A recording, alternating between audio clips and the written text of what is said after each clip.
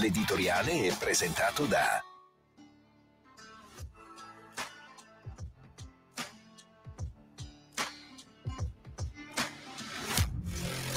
Sartoria Italiana www.sartoriaitalianaeshop.com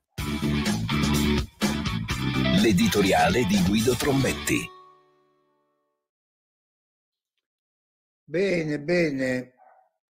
Il ciclo di ferro del Napoli, quelli che tutti indicavano come il banco di trova determinante per stabilire la qualità e la quantità delle ambizioni del Napoli è finito. Ed il Napoli ne ha ricavato 5 punti, 2 contro, 3 contro il Milan, 1 contro la Juve ed 1 contro l'Inter. La partita di ieri sera contro la squadra di Inzaghi è importantissima, non tanto e non solo per il punto che ci consente comunque di restare in vetta alla classifica, quanto perché ci autorizza a relegare ad accidente occasionale la brutta, bruttissima sconfitta contro l'Atalanta. C'era da essere preoccupati per molti motivi. Innanzitutto perché quando prendi tre gol in casa da una squadra può venire meno il livello di sicurezza e di eh, fiducia nei propri mezzi di una squadra. Poi perché andavamo a giocare contro i campioni d'Italia in carica che hanno una uh, lista di giocatori che gli consente di fare un turnover in Coppa Campioni e vincere comunque la partita. Non ci dimentichiamo che l'Inter si concede il lusso di tenere in banchina un centrocampista titolare della nazionale. Quindi l'Inter è una squadra molto forte. Come ha giocato il Napoli? Ma diciamoci la verità, ha giocato una partita difensiva e dimostrando ancora una volta che la squadra, così come Conte l'ha impostata, è nata per giocare partite difensive ed operare in ripartenza. E non è un caso che quando il Napoli gioca così dà il meglio di sé. Quando il Napoli deve fare la partita, quando il Napoli vuole organizzare il match, il Napoli mostra difficoltà.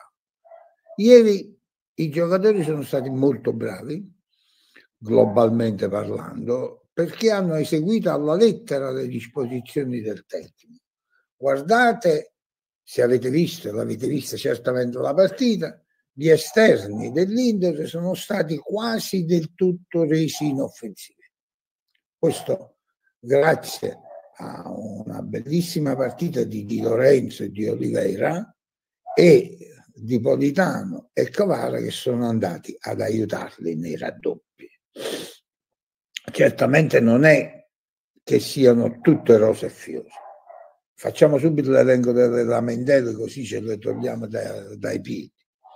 Meret ha preso un gol francamente estremamente grave, un tiro centrale sul quale è mancata la spinta dalle gambe, tanto che qualcuno dice ma vuoi vedere, considerato anche il secondo gol contro l'Atalanta più o meno caratterizzata dallo stesso tipo di incertezza. Vuoi vedere che questo non si è ripreso ancora e paga il prezzo dell'incidente muscolare alla gamba per cui non è ancora in condizioni di esplodere, eppure lui nei pali è uno dei migliori portieri d'Italia. E questa è la prima. Però non gli possiamo buttare la croce addosso perché nella valutazione complessiva fino ad oggi il portiere ha fatto un buon campionato. La mia delusione più grande è Gilmour, ma non è Gilmour di ieri, è Gilmour in questo periodo. Lui ha avuto la sua grande occasione con l'infortunio di Lobotka e dal mio punto di vista non se l'è giocata granché bene, nel senso che è un giocatore che sbaglia troppi appoggi per quella che è la delicatezza del suo compito in. Addirittura ci fa rischiare di subire ripartenze pericolose. Quindi eh, su Gilmour io sono francamente da Gilmour io sono un po' deluso. Lobottica, Lobottica, croce e delizia di questa squadra. Nel primo tempo io non ho osservazioni da fare, mi sembra che si sia mosso molto bene ed abbia fatto molto bene quello che gli chiede Conte, cioè di ricevere palla spalle alla porta e di aprire sul centrocampista che si inserisce o su uno dei due esterni. Questo l'ha fatto molto bene.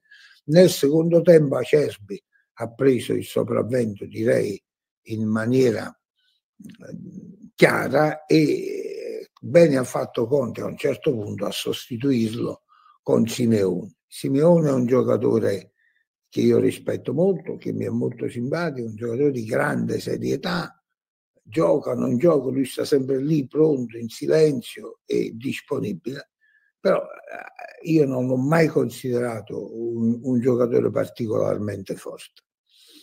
Ed anche ieri sera, in fondo, senza per questo dargli colpe che non ha, quando ha avuto l'occasione d'oro per consentire al Napoli di portare a casa immeritatamente la posta piena, ha sbagliato. E questo è Simeone. Non, eh, se qualcuno pensa che bisogna sostituire Lukaku con Simeone sbaglia, ma sbaglia di grosso. C'è un abisso di personalità, c'è un abisso di peso in campo, c'è un abisso di soggezione nella quale mettere gli avversari che eh, eh rendono il discorso assolutamente inutile.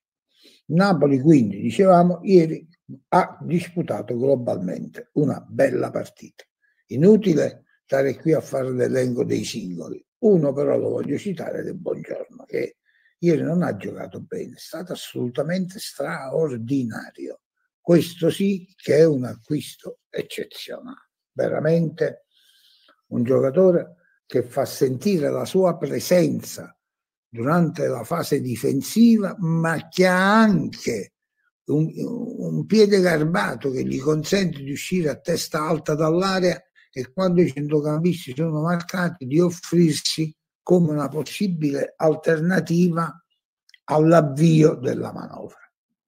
Io sono molto contento, non mi potevo mai aspettare che dopo 11 partite in Napoli fosse primo e se guardo la classifica come la guardano tutti, non posso che mostrare eh, molta attenzione al fatto che ci sono tante, tante squadre lì in un punto, in due punti. È una, una situazione che dimostra per certi aspetti la mediocrità di questo campionato, ma che ci dice anche che questo campionato potrebbe decidersi nelle ultime giornate.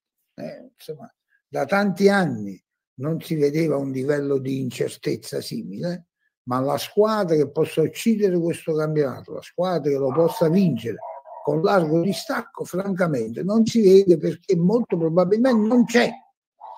Allora è un peccato che il Napoli accusi battute d'arresto come quella contro l'Atalanta, perché il Napoli ancora, come devo dire, come un fabbricato di cui sono venuti fuori i pilastri ma che non c'è ancora i travezzi. Ecco, quindi un Napoli che ha ancora un cantiere aperto può dire la sua.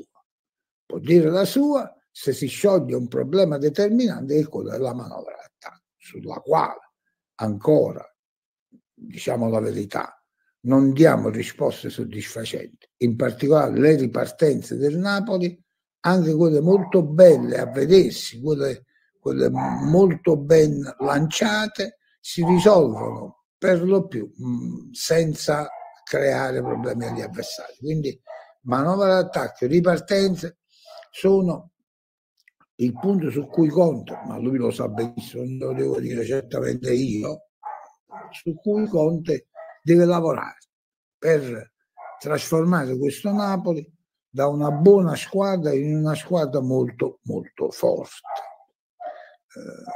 Eh, io sono ottimista. Sono ottimista che il Napoli ci regalerà, come ha fatto finora, un bellissimo campionato. Vedete, qua non si tratta di vincere lo scudetto. Tante squadre lassù, 5 o 6, in uno o due punti, sono la prova che anche la posizione in champion non è affatto un automatismo. Quindi io sono ottimista, ma sono ottimista fondamentalmente perché credo nel grande lavoro che Conte sta facendo e continuerà a fare. Lungi però da ritenere questa squadra una squadra compiuta. Buona giornata. L'editoriale di Guido Trombetti. L'editoriale è stato presentato da